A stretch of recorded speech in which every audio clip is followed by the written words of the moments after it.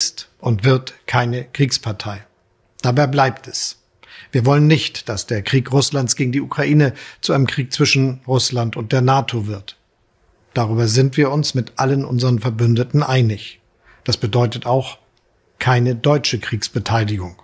Um es klipp und klar zu sagen, als deutscher Bundeskanzler werde ich keine Soldaten unserer Bundeswehr in die Ukraine entsenden. Das gilt, darauf können sich unsere Soldatinnen und Soldaten verlassen. Und darauf können Sie